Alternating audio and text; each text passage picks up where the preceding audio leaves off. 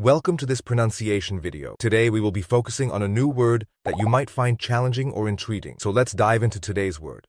Mav, which means A maverick. An independent individual who does not go along with a group. Let's say it all together. Mav. Mav. Mav. One more time. Mav. Mav. Mav.